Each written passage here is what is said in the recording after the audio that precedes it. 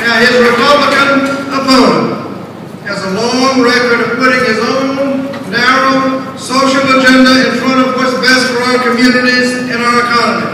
We want to move Virginia forward. We want to move Virginia in the right direction so that our children can grow up in stronger, safer communities.